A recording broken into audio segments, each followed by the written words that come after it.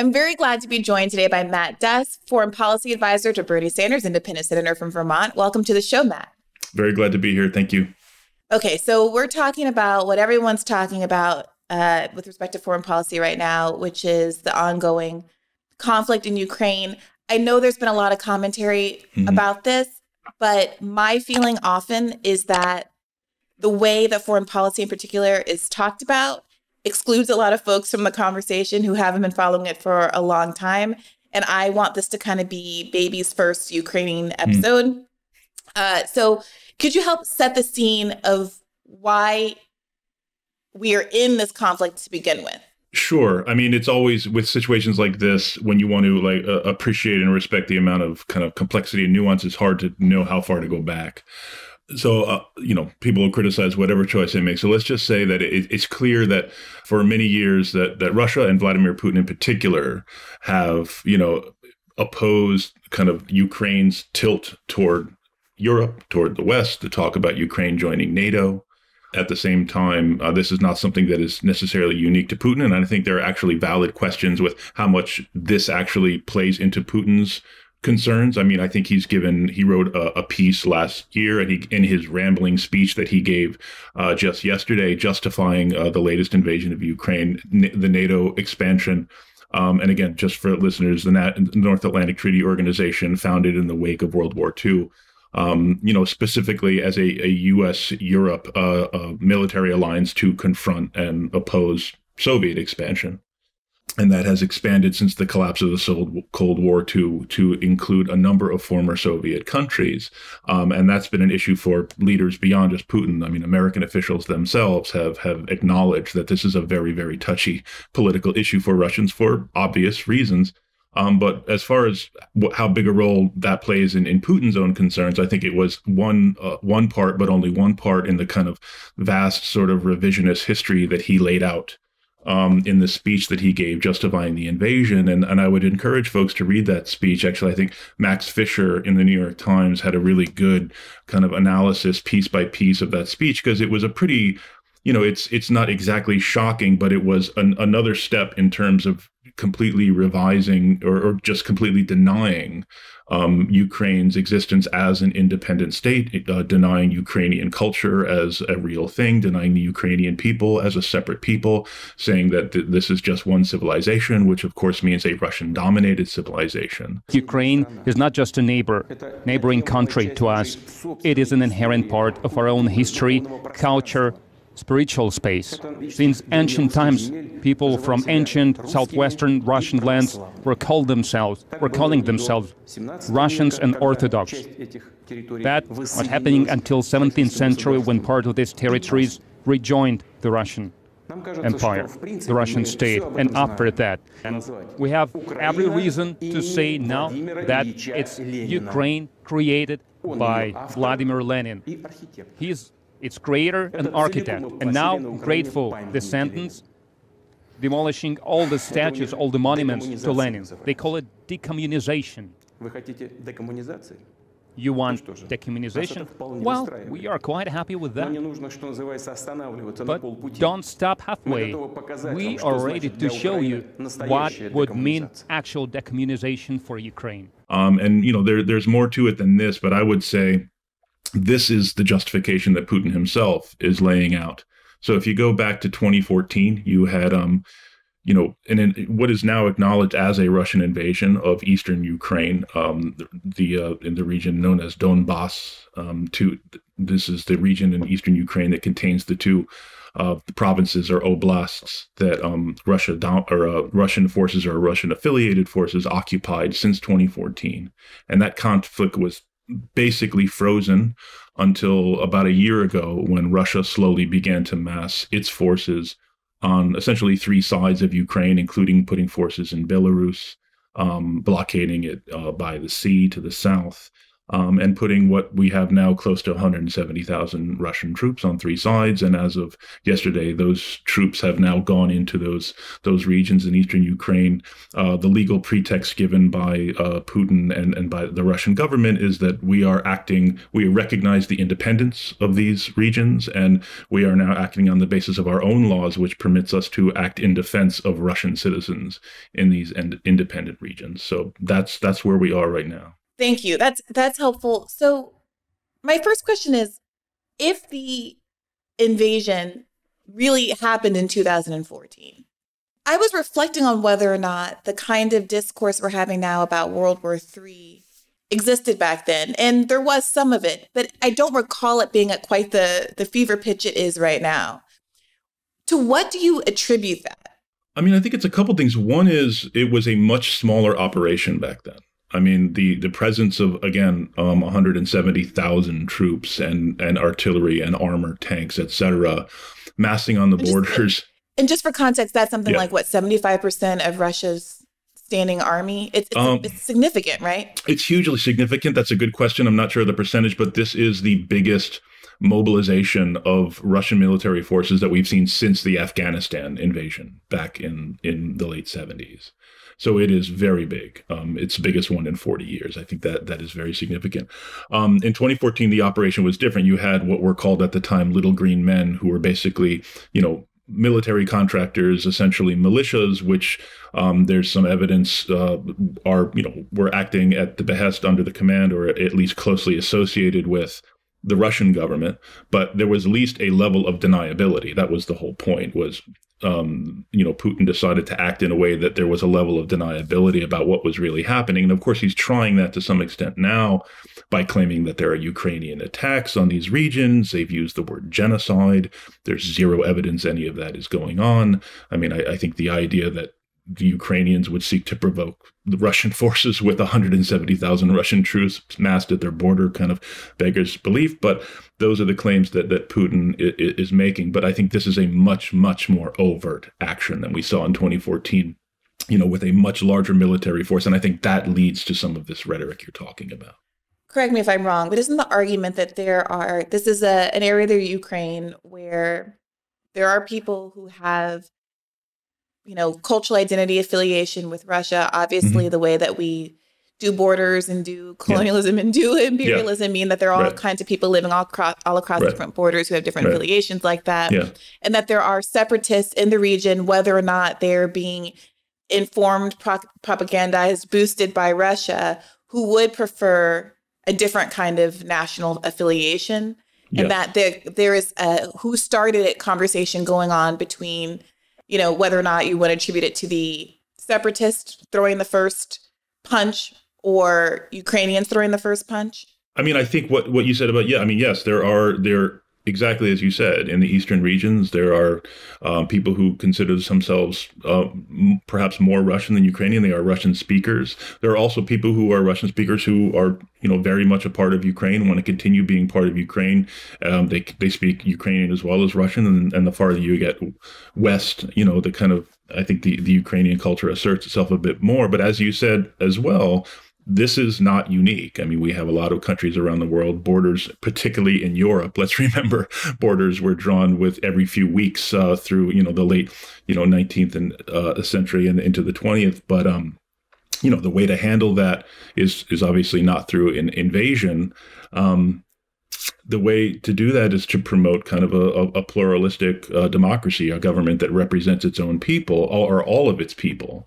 Um, I would just add that using this excuse of you know we are acting to protect our you know our ethnic brothers and sisters um, is is a very familiar kind of excuse that's offered throughout history, um, and, and and rarely uh, rarely truthfully and rarely ends up well. Yeah, I I was watching you know clips yesterday, and I saw a Kenyan diplomat making a speech about how you know Africa had, was parceled by colonizers and how they're very familiar with the idea that there are countrymen, you know, uh, tribal members, whatever, on the other side of a border, and that doesn't mean you don't get to respect national right. borders. And it kind of raised some interesting kind of philo- philosophical questions for me about whether or not we should be defending you know the way that those those countries were parceled out as opposed to you know interrogating the validity of borders not necessarily obviously in a, a territorial kind of war like yeah. imperial context but why right. Why you know the investment hearing a kenyan man kind of invested in these colonial borders struck me as a little bit interesting I do. I actually I thought that speech. I know the one. I, I listened to it. I read it. It was. I think people should read it. It was very interesting, and I thought in in, in some ways uh, very on point. Today, across the border of every single African country, live our countrymen with whom we share deep historical, cultural, and linguistic bonds. At independence, had we chosen to pursue states on the basis of ethnic, racial, or religious homogeneity, we would still be waging bloody wars these many decades later. Instead, we agreed that we would settle for the borders that we inherited. But we would still pursue continental political, economic, and legal integration. Rather than form nations that looked ever backward into history with a dangerous nostalgia, we chose to look forward to a greatness none of our many nations and peoples had ever known.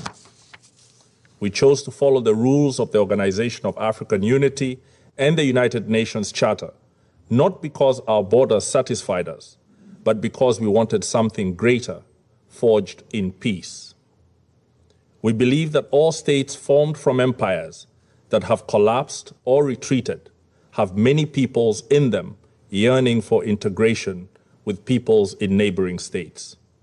This is normal and understandable.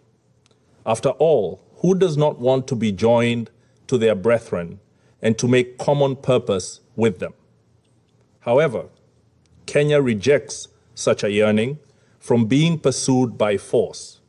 We must complete our recovery from the embers of dead empires in a way that does not plunge us back into new forms of domination and oppression. The point that he, he made was you know, listen, if, we were determined to rearrange our own borders in a way that reflected just these very close tribal and ethnic ties, we would never stop fighting and I think that's not unique uh, to Africa. I mean, and again, Africa is not certainly the only region in the world that has suffered from these imperially imposed borders. Obviously, as you know, someone whose training is in Middle East, that is in many ways the story of the modern Middle East.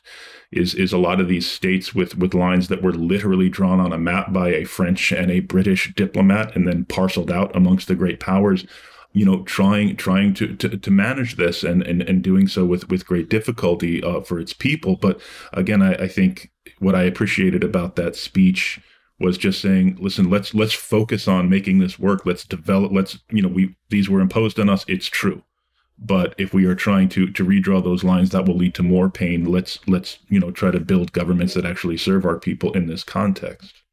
It seems like this is in some ways related to the factions that have emerged on the left with approach to this issue. Mm-hmm. So there is one faction that I don't want to mischaracterize anybody. I mean, there's there's there's kind of like ridiculous versions of, of each faction, I would say, but there is a group that's being accused of not sufficiently recognizing that what Russia is doing is imperialism too, because they are overly invested or so blinded by their distaste for American imperialism that they might go too far in saying that Russia is doing absolutely nothing wrong because they don't want that to become a pretext for America becoming overly involved. Yeah.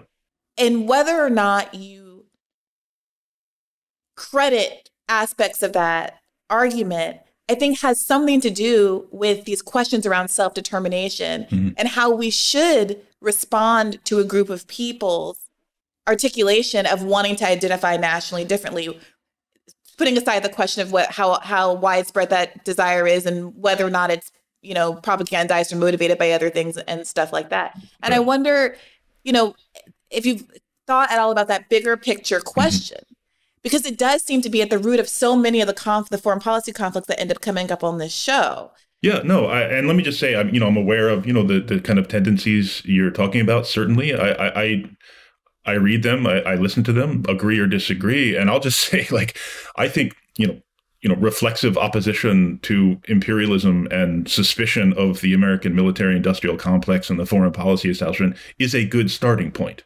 Um, as as a general rule, given especially what we've seen um, over the past 20 years, obviously even farther back, but especially over the past 20 years, as we've seen, you know, human rights and liberating peoples and and all the other stuff used um, as a way to draw in liberals and, and, and even progressives to support these disastrously destructive military interventions and, and adventures and misadventures around the world. Um, but I think you know the the way I would approach it, and I think the way Senator Sanders has approached it, is focusing on this question of solidarity. What does it mean to kind of be in solidarity with the Ukrainian people in this case? What does it mean to be in solidarity with even perhaps people in eastern Ukraine, some of them who do want to be closer to Russia. I mean, again, I don't haven't seen evidence myself that this is a there is a large consensus in favor of that. Certainly, there's no large consensus in these regions to be caught in the middle of a new war uh, that Russia is launching. But I think, you know, looking at the anti imperialist question, yeah, let's recognize the United States is guilty of a lot, but that should not prevent us from seeing what Russia is doing right now, which is imperialism, certainly in its own way. I think again, referring to that speech that Putin gave yesterday, is overtly imperialism. I mean, he is he has made clear that he is not just trying to reconstruct the Soviet Union. He actually called the creation of Ukraine a product of Leninism and communism, and he was trying to reverse that. So he is actually reaching back into a much, much, much earlier conception of kind of Russian imperial nationalism. Um, so I think it's you know for those of us who want to you know oppose this sort of violence wherever it arises, it's important to acknowledge. Well, this is this is the other part of the question, and we had uh, Stephen Semler on and um, Shahid Buttar talking about this after mm-hmm. the Afghanistan w- withdrawal, mm-hmm.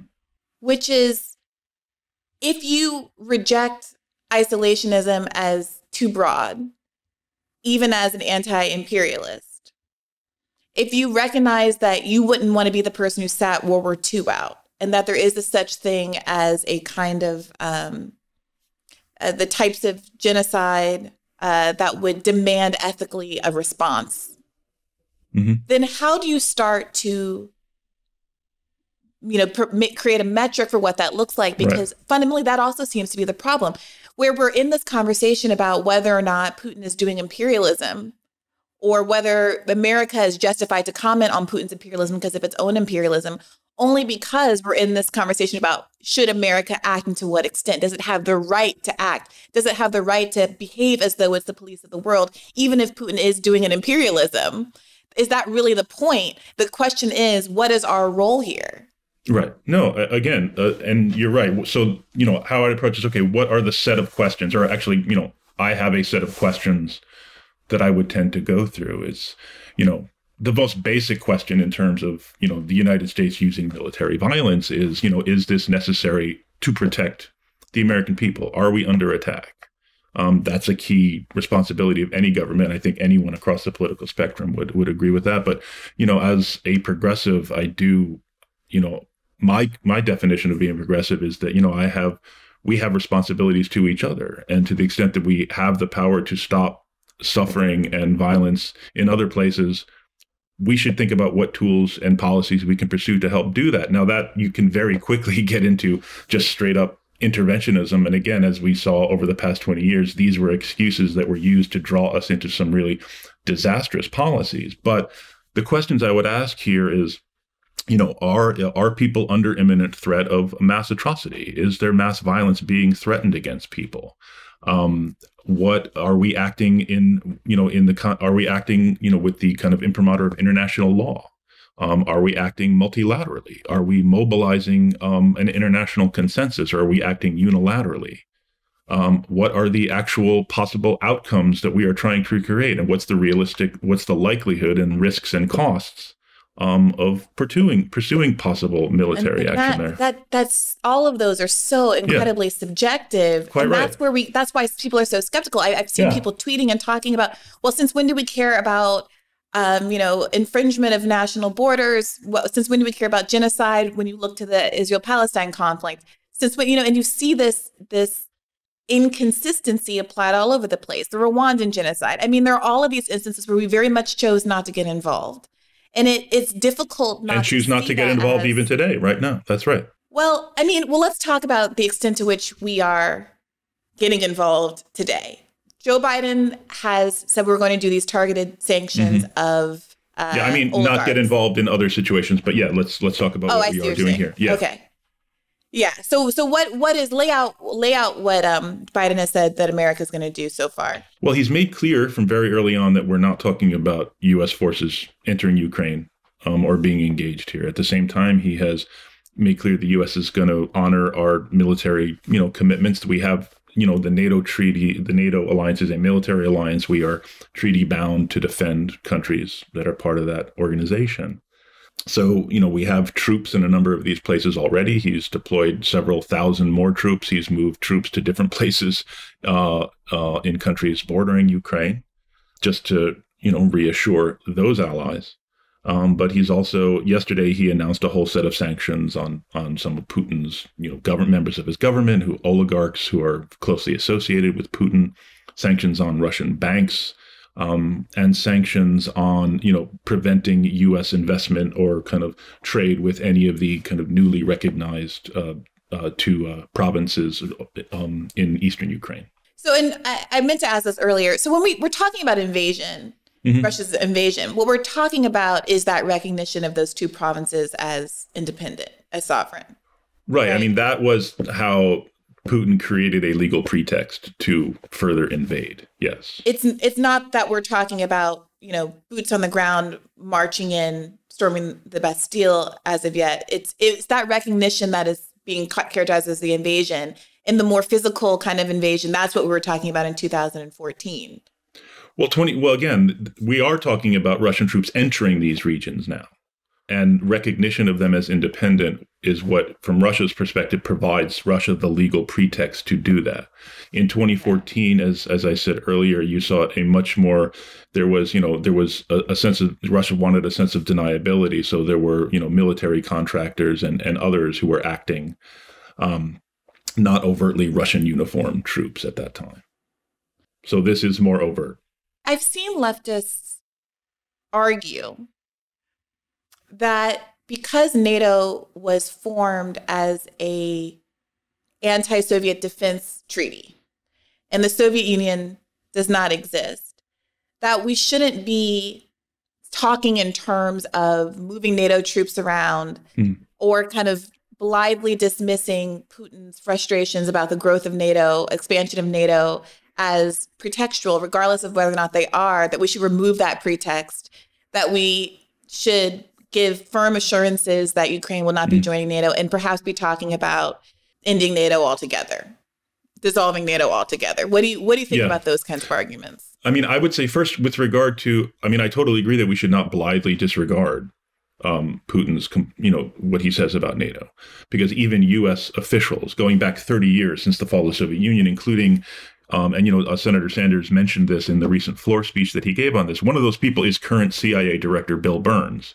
who in his uh, really good book of the back channel talks about being a, a, diplomat in moscow at the time and reporting back um, through the years that this is a broadly held concern it's not just something putin invented this goes back 30 years russians russian officials are very very concerned understandably, as you said, this was a military alliance that was created to confront the Soviet Union. Others, like former, you know, Clinton Secretary of Defense Bill Perry, have said the exact same thing. So this is uh, politically a real concern. The question is okay, it is one of many concerns and grievances that Putin himself laid out. But that certainly doesn't mean that we dismiss it. I think we have to take it seriously. And just, I, I think the Biden administration does take it seriously. Um, if you, you know, you look at, you know, the kind of consultations that were taking place between the U.S. and allies, and then you look at, say, uh, you know, French President Macron going over to sit with Putin for a number of hours and coming out and saying, you know, basically we're, you know, we're ready to talk about NATO. You saw uh, new German Chancellor Olaf Scholz doing the same thing, coming out saying something very, very similar. I think when you, you know, you know, look at the kind of signaling that was going on here, it was signaled very, very clearly that these we're ready to talk about this because, you know, again, the Biden administration, in my view, did not want to be dealing with this right now. You know, they've got a lot else on their plate, and dealing with a potential new invasion of Europe um, is is is is going to suck all the oxygen out of everything else. From what I've you know seen publicly, and just you know from conversations I've also had, I, I think they've made clear they're ready to talk uh, about NATO. Um, but well, what does talk it, about what does talking about NATO mean? I think it you know uh, make a real good faith effort to address these concerns. They are not dismiss- dismissing them.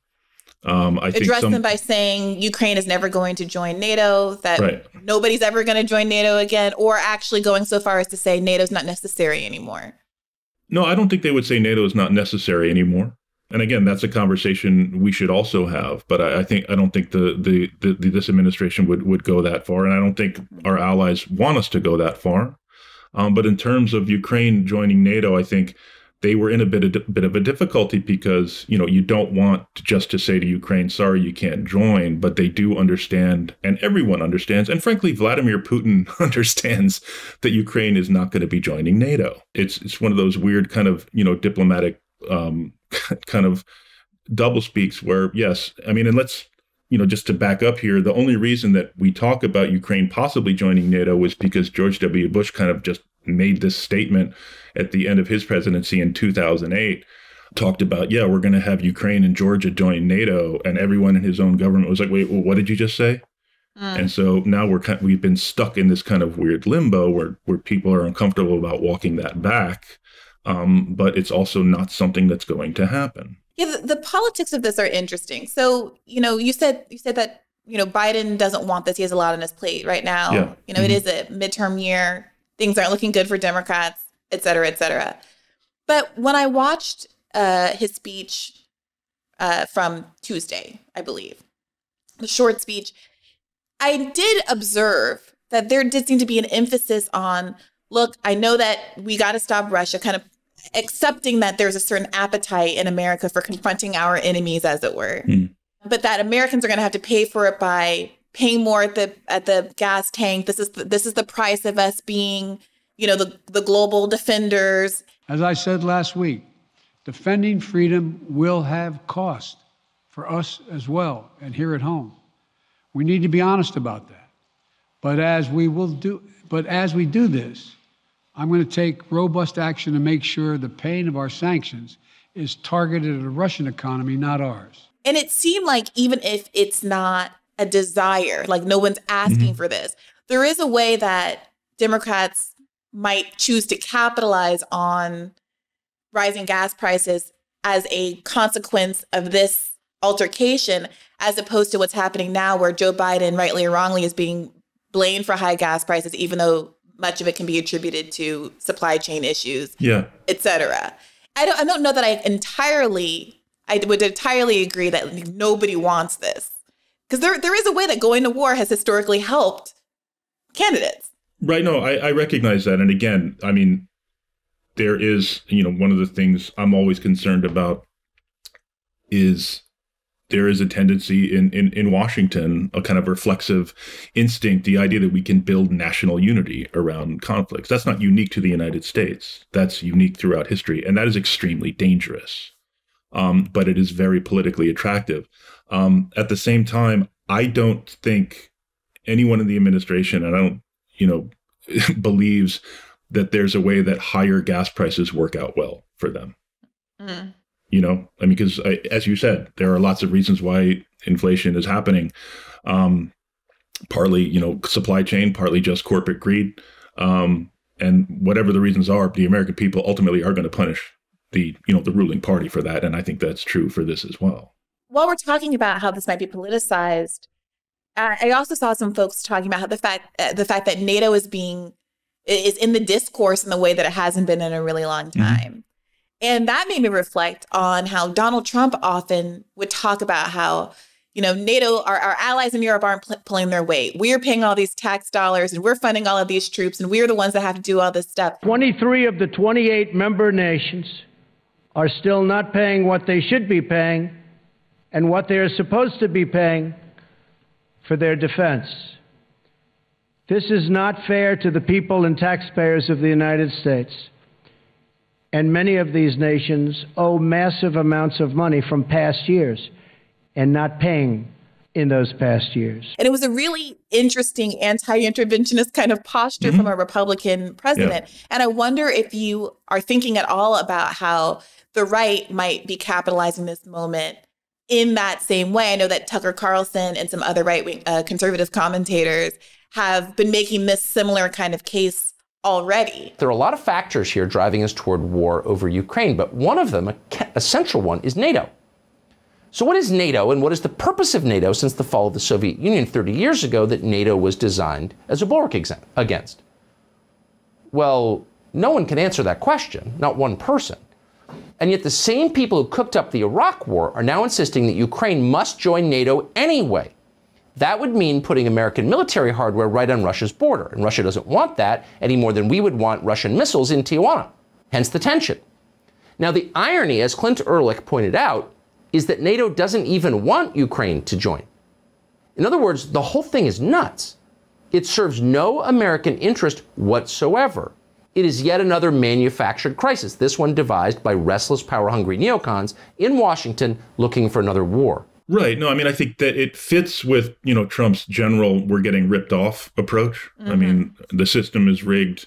You know, they're ripping you off. They're taking from us. I'm here to help you but I mean, at the same time, that the criticism of NATO, even though Trump did it in his own, you know, very Trump way, was not did not begin with Trump. I mean, Obama himself regularly, you know, pushed the Europeans on meeting their own commitments uh, to NATO.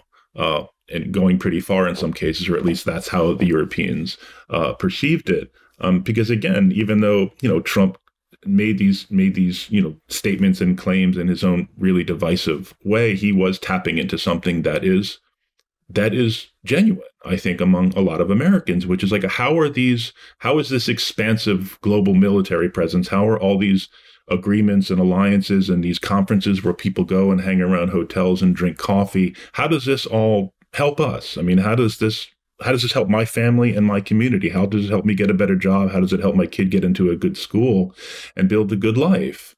And that you know you know defending the con you know helping to understand how the questions americans have and think through you know okay how does this actually help all those things? And i think there in some cases there are good answers i think you know collective security is an important thing um, and that should be part of the conversation about nato but i think too often those of us who work in washington don't actually think about it in those terms enough in a way that we can we can discuss it with um, our fellow americans. I, it's been explained to me by people who know better that a lot of this seems to be about this weird kind of um, psychodrama that's been going on with Russia and the West, and a, an inferiority complex mm. that has emerged because of a lack of disrespect, perceived mm. or real, that the West has had toward Russia following World War II, when mm-hmm. it's when Russia fought, suffered so many casualties, 20 million plus casualties in, in helping to win that war and then has been treated kind of like as the ugly stepchild, Cold War, uh, McCarthy, all of the things that have happened since then, Red Scared and all that stuff. And NATO, it feels like is playing a role in the psychodrama. We're the cool kids team, and mm-hmm. you're Russia. Yeah. I mean, right. for listeners who have been enthralled by the Anna Delvey story, as I have been the last couple of days of binge watching, you know, there is this scene where she, you know, Russian immigrant to Germany is bullied by all of the cool girls at her boarding school uh, in Germany. And it, I, I had this image of, mm-hmm. you know, P- Putin in this kind of like not very chic outfit getting bullied in the same way. yeah. And like, to what extent, to what extent is would would saying, hey, maybe we're not going to, I don't know, how much is this is of this is like this kind of interpersonal drama that could be resolved by like a meeting of the minds yeah. um, and and you know some offering of respect or yeah. solidarity. Yeah, no, I think you know it's you know you don't want to overestimate, but nor should we estimate the role that national pride and humiliation plays in international politics you know at the very macro and at the micro level even within states i mean this is there's an element of this even within the ukraine russia uh, conflict, right? Because you, you, you, Ukrainians, you know, they they rightfully are offended by the kind of argument that like, oh, you're just you're our you're our little Russian brothers. You know, there's there's a very much an element of that going on there too.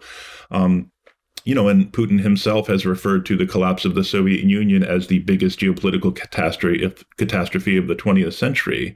So clearly, the loss of status um, that occurred there, and, and certainly the way that the United States and the Western countries responded there by just rushing in and you know imposing neoliberalism, which in turn you know empowered a whole set of really corrupt oligarchs, which you know Putin in turn brought under his control uh, and helps him rule. I mean, the United States helped create that situation, and it's not the first and only place where the United States uh, ran this scam.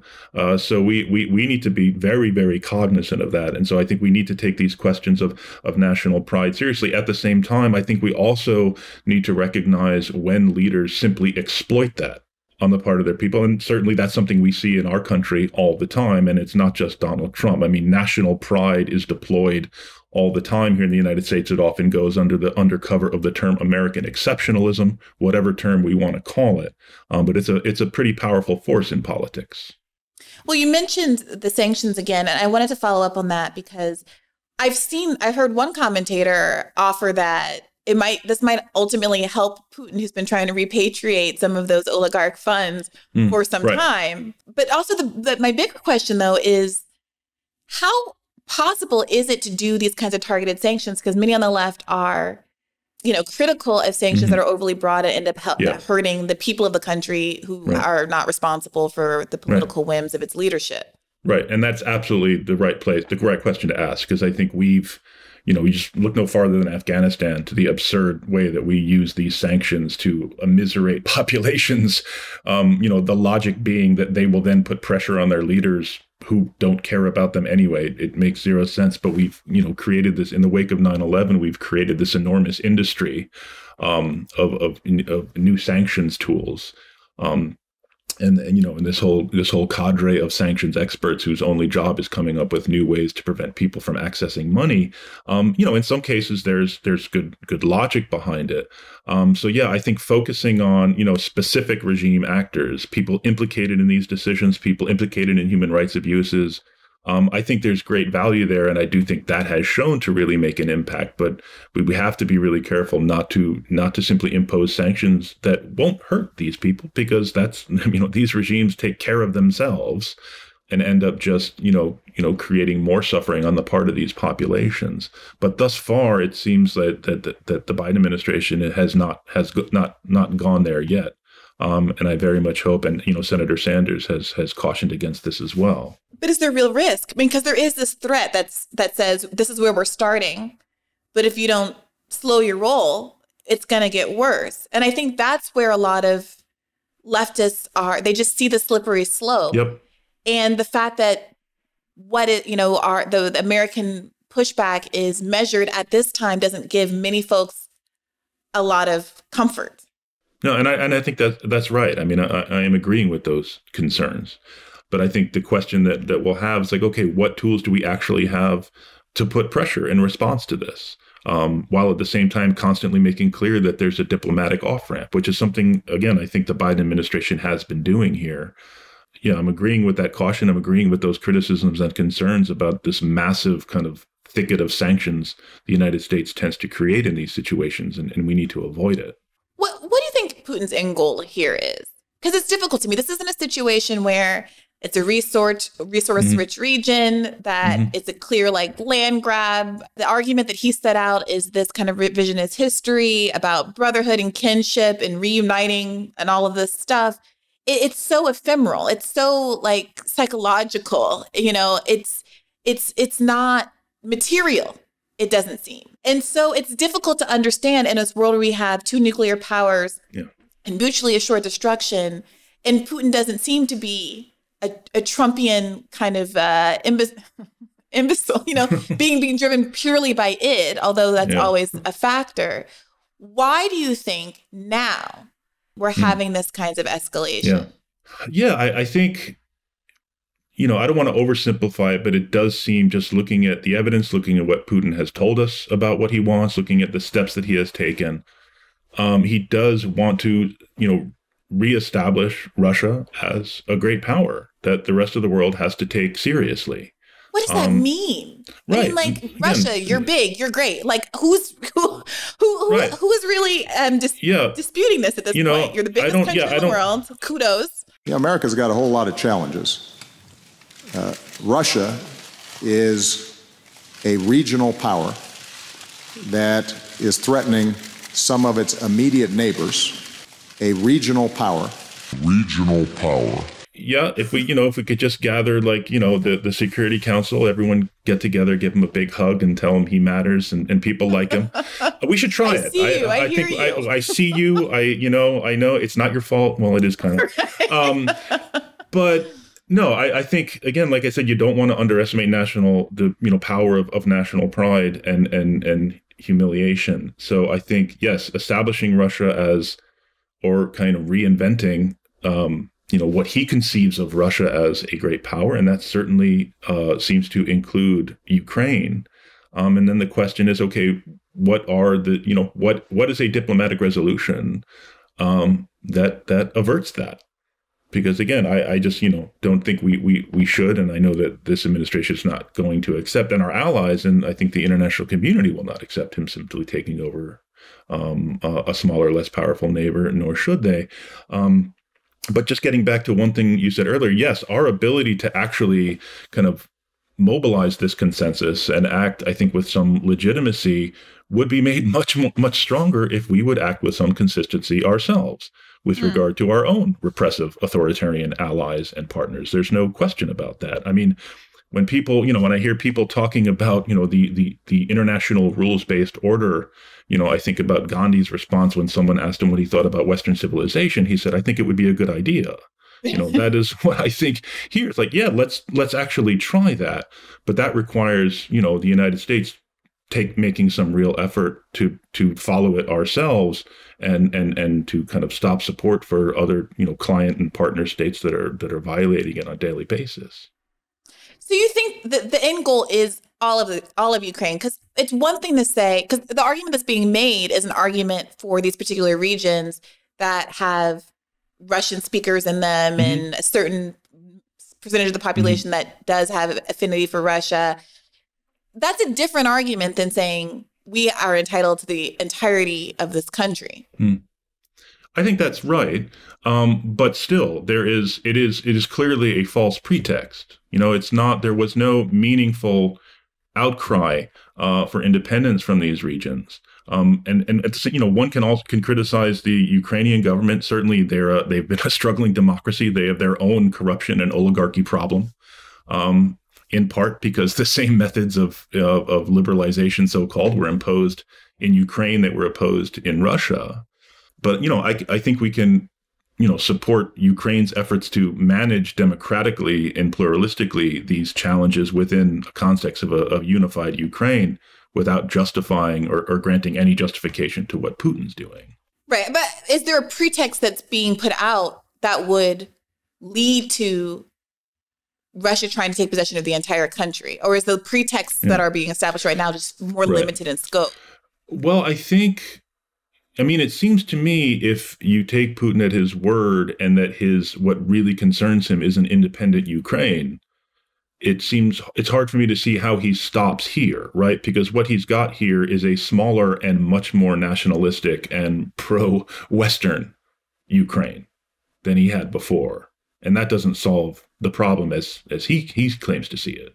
And so then what's the end game? Again, I'm back to this point. If if he yeah. you know, if we presume that it's not going to stop here, yeah. What does the US do? Because, okay, so we've said the targeted sanctions. We've said we're stopping um, this oil line between Germany and Russia. And there's this discussion about what it means to have non lethal military aid, mm-hmm. non lethal aid, which has led to a broader discussion about the ethics of providing any kind of uh, arms or something that stops short of arms to a country, given our historical record of those goods being getting into the wrong hands, right. especially given that there's been a conversation about various groups on both sides of this in Ukraine that have ties to neo-Nazi groups, et cetera. Yeah, I mean, I think there, you know, there is there is evidence of a neo-Nazi presence presence in you know, in Ukraine, certainly they have far right wing nationalists there, as they do in a lot of places. I, I would not overstate that, but but it does exist. Um, I think the question of arms, yeah, that's a tough one because it's not like who's do they fall into the wrong hands, but it's also do we get into a situation where we're ultimately feeding and lengthening in a war without the ability to ultimately change its outcome? That's a difficult question. Um, so in terms of what we do, I would say, I mean, the sanctions, focusing those sanctions on on Putin and the people around him. And by the way, that will include acting much more aggressively on European and American banks. Again, something the Senator Senator Sanders said in his statement yesterday, moving much more aggressively against American and European banks that are hiding these people's money. And that involves going after very powerful people in Europe and the United States. And if and if you are serious about making this hurt, you're going to have to confront those interests. You know, that involves, I mean, a lot of these people's money is in not only banks, but it's in real estate in London, in New York. It's hidden in shell companies and trusts that are, you know, run out of South Dakota, Nevada. Um, so, yeah, there's a lot we can do, but we have to be serious about taking on this political fight. Well, well are we serious? Because I was listening to a guest on um, a Katie Halper stream last yeah. night who said that one of the oligarchs in question owns one of the major soccer teams, Chelsea, Arsenal, yeah. one of these teams, right. and they're not being touched basically because it would be inconvenient for all right. of the soccer fans in the UK. No, I, that's right. That's right. I mean, no, I mean, it's good. I mean, they, I, I think the, the Biden administration has said some really great things about anti corruption. I think they rolled out a, a pretty impressive anti corruption agenda just a couple months ago. Um, I think, unfortunately, it lacked a kind of domestic component because ultimately, if we're serious about anti corruption, we need to start at home. And by the way, that includes campaign finance reform um, because that's the corruption that we just all agree not to call corruption, and we should not agree not to do that. Um, other things, too, again, I mean, if we really want to deny um, you know these kind of authoritarian petrostates the revenues they require we also need to be talking about a, a serious investment in, in a global green energy transition. That's all got to be a part of this. But this this corruption point is is a difficult one. I just had ash kalra assembly member from california who was shepherding through the CalCare uh, bill in the show and i asked him well are, do you think that gavin newsom is corrupt? And he stopped short of mm-hmm. saying that he was. And you know there was this moment during the 2020 campaign where, you know, Zephyr Teachout wrote an article about mm-hmm. Joe Biden being corrupt. And there was some hesitancy from the campaign to stand by that statement. And it does feel a little, a little nambly pambly to say we need to be serious about corruption at home when it seems like people within the Democratic Party are unwilling to call out their own party members as corrupt. Even when we see Nancy Pelosi grandstanding about not wanting to stop Congress members from being able to insider trade something that should be so base level yep. and obvious as yeah, a prohibition. Right. I don't disagree. And this is why I, I, feel like the reaction to that and the and the legislation led by Senator Ossoff banning that um, is great. We need to be serious about that. I mean, I think there's a this is a tough conversation that we need to have, but if we're serious about corruption, we need to have it. All right. Well, I mean, I, I want to go back a little bit to this neo-Nazi point because a, a lot of people are frustrated that that is being overemphasized in all of this. Mm-hmm. And some people who are, you know, it's interesting to me because it, to me it's almost a moot point whether or not there's neo Nazis. I mean, the the the issue of providing arms is so mm-hmm. distasteful. The idea of it is so distasteful to me for yeah. a multitude of reasons. The idea that there's like good guys with guns, it's not where I'm at. But can you talk a little bit about how this issue is being discussed in the media and how we should think about, you know, why why is it why is it an issue that you think that people are overstating um, the relevance of these neo-Nazi groups? I mean, I, I see, you know, for some who are, you know, inclined to, you know, not, I'm not going to claim that anyone is taking Russia's side. I don't think that's productive here, certainly within kind of the intra left conversation. Um, I'm happy to say it about Tucker Carlson. But I think you know, just in terms of making an argument, well, there are no clean hands here. You know, there's bad guys everywhere. You know, yes, I mean, there, as I said, there are neo-Nazi and far-right parties uh, in in Ukraine. This is unfortunately a part of Ukraine's politics, um, and has been for a long time. Um, I don't. No one should deny that. But again, I think I, I often see see it being used to make you know, if you want to make an argument that we shouldn't supply arms, I think you have quite enough reasons of why insurgencies are violent and destructive and horrible. without the extra added point of oh by the way some of these are, are neo-nazis i think that the sort of situation that we might be talking about of a, an insurgency fighting a russian occupation of ukraine is quite ugly enough without getting into that what happens if we took the kind of uh, reductio ad absurdum version of the most kind of left argument the, the, the most i shouldn't say the most left argument but the most anti-imperialist argument mm-hmm. which says this is none of our business you are selectively picking and choosing which which conflicts to engage in based on a perceived American interest or wanting to politicize something mm-hmm. or having your military senior military officials coming through the Raytheon revolving door and we shouldn't believe anybody's motives in the US for getting involved. This is no better or worse than anything that else that, is, that has happened recently. And we should do absolutely nothing. Mm. This is just fully not our concern. What do you make of that argument and where does that lead us to? Like what what do you see the outcome of something like that being? I see it, you know, in Ukraine, I, I see it as leading to more suffering rather than less. Um, and ultimately, that's kind of a question I need to ask. What am I doing? The policies I support, the ideas I have, um, is this leading to to more suffering um, or less? And I think we do have the ability to to kind of to, to create less suffering. Well, let's, um, let's yeah, this out a, a, little bit because mm-hmm the more suffering, I presume, is Russia takes over Ukraine. There's infighting for who knows how long as a consequence. Maybe other European powers that aren't us end up in direct conflict with Russia. I mean, this is mm-hmm. an example where right. we truly just decide not to get involved. Yeah. And okay, that's that.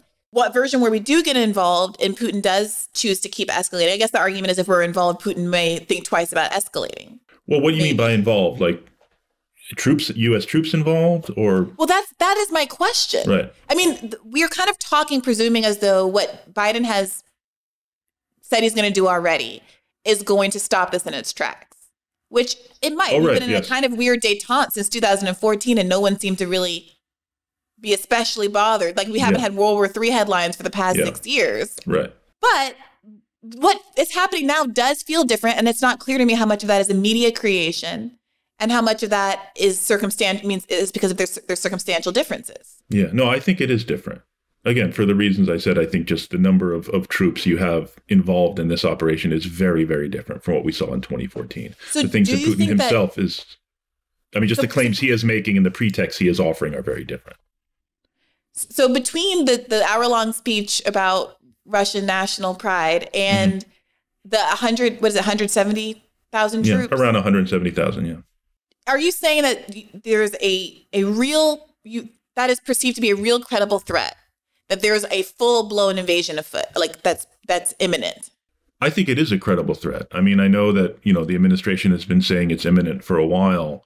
Um but just you know why do you mass 170,000 troops on three sides of a neighboring well, that's country? the thing if that's true then a little sanction here, a little sanction there, yes. some non lethal aid, and cutting off yeah. access to a gas pipeline isn't doing anything. Oh, no, I, I don't disagree. I mean, listen, they recognize, and we all should recognize, I mean, just for a whole bunch of reasons, Putin has, you know, what's called escalation dominance here. I mean, there is even if the United States were to decide we are going to send U.S. troops to into Ukraine, it would take weeks, perhaps months, to actually get the number of troops, you know, to actually do that. And NATO um, and troops, they don't have enough. There's no not enough troop resources. It, it, it would take. It would take. You know. Sh, you know. Let's just say Putin could conceivably take all of Ukraine much quicker than it would take the United States to actually get troops in place um, to to respond or to. So is Trump is Trump right? NATO's not pulling its fair weight. no, no, I wouldn't say that. I mean, I think you know the point is he's not threatening NATO countries, right? I mean, he under, I think this is part of you know why Biden is actually strengthening the U.S. presence in these countries is because they have an alliance, and Putin understands that. Um, but again, should you know should Putin decide to move you know to push west in, in, into Ukraine, it seems pretty clear he is is able to do that. So again, being realistic about our ability to stop this and the tools we actually have to to kind of change his mind or change his behavior you know, we do have to be realistic about that. And that is something Washington is very, very bad at. I mean, there is a kind of belief in the magical power of, of you know, magical abilities of American power. But talking through, okay, what can we actually do to change this situation is a tougher one. But also, what is our authority? Because I, I feel yeah. like so much of this left argument is about you're, you're an imperialist because there, there's a fundamental question here. The, the, the, people who are like, don't do anything, anything, any American behavior is anti-imperialist are got, kind of getting laughed off the stage as absurd.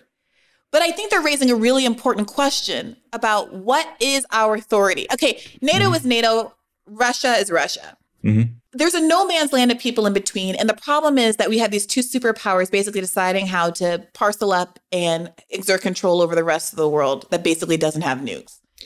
And sorry, go ahead. Do you want to? No, I would just say, I mean, well, you also have the Ukrainians who are saying what they want and don't want. And I think that matters yeah, too. But these things are a mixed bag. And if you if you look at even America, okay, what does America want? Does America want Trump because Trump was president for four years. Now does America want Biden? Are we all supposed to be enthusiastic Biden bros because Biden's president? Are Biden's foreign policy whims ours? Are Trump's? Are Obama's? Are I don't. I don't. It's so. It, yeah, countries are diverse. People. I think diverse. they are diverse. They are diverse, but I'm also not gonna. I don't think we should one hand, other hand this. Okay, Ukraine clearly does not want to be dominated by Russia. They don't want to be dominated by the West right. either. So let's say 100% Ukraine does not want to be, let's just concede that entirely. Mm-hmm. That still raises the question on what authority does America from a zillion miles away play peacekeeper here? And it's not that, you know, I'm not even necessarily asserting that we shouldn't ever, because again, yeah. there's this World War II example that's always floating over our heads. We all mm-hmm. kind of agree there's this platonic ideal of a crisis that we should intervene in. I mean, not not everyone would even agree with that, but right, right. It's troublesome, and you're always going to get leftists who are upset as long as you don't have something more concrete as a rationale for why us. So right. we're having this conversation about what Ukrainian people want. When on some level, to that conversation, it's it's moot. I, I mean, I, that, I don't mean to sound dismissive or like yeah. there shouldn't be diplomatic interventions and those kinds of things. Yeah. But what is America's authority to come in here and say, oh, we're going to defend you from this bully, other than we want to protect our own sphere of in- influence in a way that is ultimately, yes, imperialism? No? No, I, I think we can we can and should have that conversation. Um, while at the same time recognizing, listen, we have treaty allies in this region who are very concerned about what is happening. We have Ukraine that is very concerned about what is happening. And wants the United States to help them resist this. I, I think we could, you know, the one conversation I don't think eh, both important, but shouldn't happen to the exclusion of the other, if that makes sense. I, I'm with you, but it does feel like the the conversation about what is America's authority isn't happening at all because everyone who raises it is being kind of dismissed as unserious. Well, I think no, I don't. I don't think it's unserious at all. I think it is a very good question. I mean, I would also mention here, like, you know, one would hope that the United Nations would act for the purpose that it was initially conceived, but unfortunately, you have one of the countries involved here, um, Russia, with a veto over the Security Council. So it does create a real problem uh, for generating that kind of, you know, legitimacy, or at least the kind of UN imprimatur that you know I think a lot of liberals and progressives would would hope we could get in a situation like this. So, in the absence of that, the question is how are you generating international legitimacy? Um, and I think just what I said before about you know what countries in the region are actually asking for the United States to do, what Ukraine itself um, is asking the United States to do in this case, I think does generate some measure of legitimacy. That doesn't answer the whole question. Yeah, I mean, I mean, part of this legitimate legitimacy issue is that there are people who argue that to the extent that there is a desire by the, the democratically elected Ukrainian government to resist Russia and to have America's help, you know, the leadership is being called an American puppet regime, and you know the the West calls the separatists uh, Russian puppets, and there is a lack of confidence and self determination that seems to be really at the core of a lot of this. No one can tell yeah. who is genuinely self determined. I mean, I think you know I don't think anyone disagrees that the Ukrainian government was democratically elected for all its faults. Um, as I said, it has its own corruption and oligarchy problem for sure. Um, but still, I don't think that leaves you know the legit- legitimacy a completely open question here. So I, I, I'm gonna I'm gonna let you go, and I know that we're in this really thorny, weird, like kind of. Yeah. Um, No, this is good, and I just want to say, like, this is why I was excited to join join you for the conversation because I mean, I've just been so impressed with these kind of really smart and tough conversations that you have. Um, so I'll just say Well, that. oh, I appreciate it. And I'm very glad to be joined by someone who doesn't have to read a million Wikipedia entries about the Balkans. You know, to Oh, yeah, you, you haven't noticed me scrolling over here. I, I, I search very, very uh, subtly. No. But look, I, I I I tried to be upfront about my relative ignorance because there it's I think it's dangerous for these conversations to be kind of happening above everybody's head and it, they are accessible to everyone but like my brother is was like an international relations guy and is very good at all of this and I caught up on the phone I'm like Brandon talk to me about things and he's like well in you know there's this 17 da, da, da, da, there was this uh, new treaty that said that we, I'm like okay Brandon like Yeah. relax. This is a little bit Yeah. too much. But that's sometimes the level of a conversation that we get into, Yeah. Mm-hmm. you know, when we're starting these foreign policy conversations. So I really appreciate your patience here. Absolutely. I guess I, I don't mean to sound overly credulous of the Kremlin. Like I understand that's like the worst sin that you can commit. But I, I, I do want to credit that, especially in the case of any am- uh, ambiguity, and there being these fundamental issues of borders and a lack of kind of fundamental self-determination that's the consequence of colonialism and imperialism. And our dis- our decision to divide up the world in these ways as as like a Mhm. global community. Hmm that sometimes i feel like the most important part of all of this is getting sidestepped. And you would get a lot more buy-in to the extent that you wanted buy-in from the broader left community if there were a fun- fundamental conversation being had about when and where america is justified Yes. or any country is Yeah. justified in intervening. And it can Yes. feel like a really callous conversation, like let's leave, let's leave Ukrainians like, oh well, they got a Yeah. deal. Like everyone's got Yeah. a deal. But we do that all the time. Yeah. And No, no. I just want there to be a rubric. I just want there to be a principle, someone to give some thought into what a principled rationale would be. Because it's not clear to me that following either like worst case scenario out down the road, it's not so clear to me.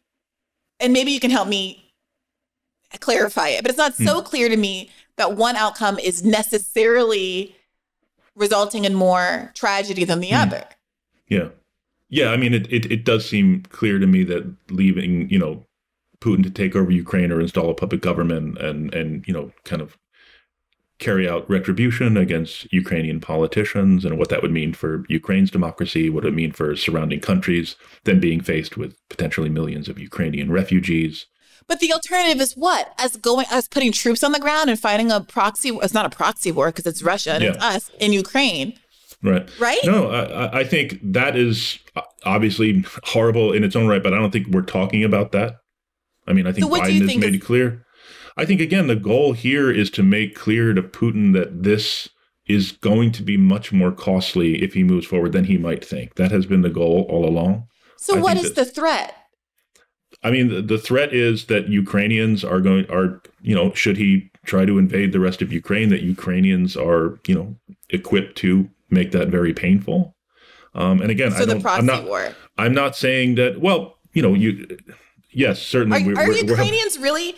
If we give some non-lethal aid, whatever that is, Yeah. are we really? Are we? Are we really of the belief? Is it? Is it true that Ukrainians are going to be able to withstand these 170,000? no, no, they're Russian not. Troops? They're not going to withstand it. They they're the option is how painful will they make it.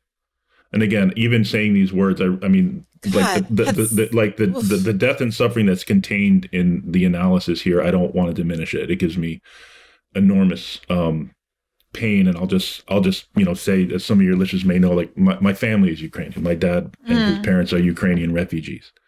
Um, so you know, and I have family there. So you know, trying to provide this kind of you know semi dispassionate analysis is a challenge. But I just want to kind of own up to that. Well, have you been? Do you have? Is it close family that you you speak with? Do you have any insight into you know how We, they're? you know, we're in touch from this? from time to time. We haven't spoken in a while. Um, it's it's a great aunt. Uh, she does not speak Mm. English, but it was from Mm. my father's extended family who were separated during the war, and we've been in Mm. touch subsequently. So you know, just getting back to your question of yeah, I mean, I think both of there's ways to see both of these different you know the different outcomes. There's a lot of suffering either way. Um, but I think the focus for now is to try to avert, um, you know, the, the worst outcome, while still recognizing that Putin does have, as I said earlier, like escalation dominance. You know, even if we're talking about uh, sanctions um, that cut too hard in the in, into the Russian economy, you know, he he's made clear that they have a whole bunch of cyber options. They've certainly invested a lot of money in their ability to respond uh, through cyber war and other things like that. So it's it's very easy to see how this this escalates out of control. Um, but you know, in general, I think the Biden administration has been has been proceeding cautiously um, and trying to avert this. And again, I, I, I, think, you know, I've certainly been critical of them where they've come up short, and there's quite a few examples uh, I, I, could give where I think they've come up short on some of uh, progressives' goals. Um, but you know, I, I think they do deserve some credit for for managing a very very tough situation uh, fairly well here. And I'll just want to say one other thing. I'm sorry. Go ahead. Please. No, no, no I, I think also what you said about you know the the questions about what how is America justified to intervene or do anything here or anywhere else. I don't I don't dismiss that at all. I think that is a very valid question, and I also think um, the debates that we are having on the left right now are very, very important.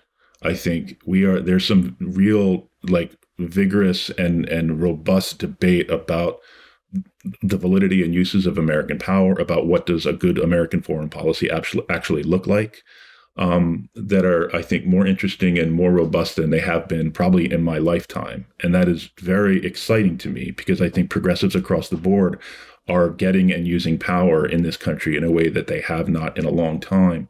And so that's why I want to make sure that as I engage in this debate, um, I want to do so in a way that that builds the left, that that is constructive and respectful, because the right's goal is to divide the left, and we should not help them. Yes, well, I certainly hope. I, have heard a lot of folks whom I like on both sides of this yeah. question. Yeah. You know, being kind of dismissive and you know calling each other stupid and mm-hmm. you know Putin puppets and all of this kind of right. thing on both, but going both ways. Right. Uh, you know, you're an imperialist, you're a poon puppet. Okay. Like, and I really hope that some members of those factions will come on the podcast and talk to each other because, you know, someone like me, like I, a lot of folks, most folks are just trying to understand and evaluate. And yeah. it's difficult to have a conversation about where each side is coming from if instead of making arguments, everyone's just calling each other stupid and captured right. and all of these other kinds of things. So right. hopefully this is just the beginning of all of those conversations you know, tonight after folks listen to this, you can join us on my call-in show to give feedback and to weigh in, and hopefully we'll have some broader members of the left community joining for that conversation. Thank you so much, Matt, for joining us here today. You're you're not you know a, a podcaster or a journalist or anything like that, but go ahead and tell our listeners where they can they can find you and your quote unquote work. Uh, well, you can find me uh, tweeting too much at Matt Duss. Um, um, other than that, you know, just you know, see you around. Thank you very much, Briahna. I really enjoyed this. Thank you, Matt. I really appreciate it. I really do.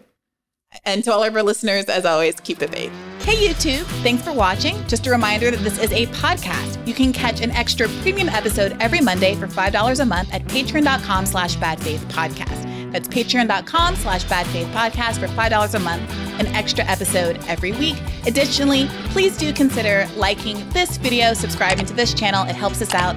It helps independent media beat the algorithm. We appreciate you. And as always, keep the faith.